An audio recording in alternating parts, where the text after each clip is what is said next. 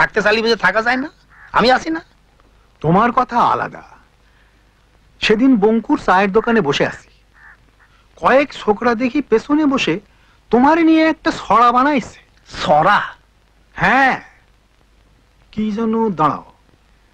উকিল শশীকান্ত সেন গুপ্ত মনে তার বাসনা সুপ্ত। যাবে না সে দেশ ছেড়ে রয়ে যাবে চিত্রার পারে। হয়তো মানুষ হয়ে কিংবা হয়ে বায়ুভূত।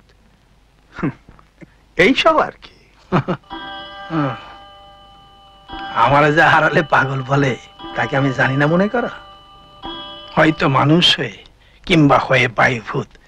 কি সরা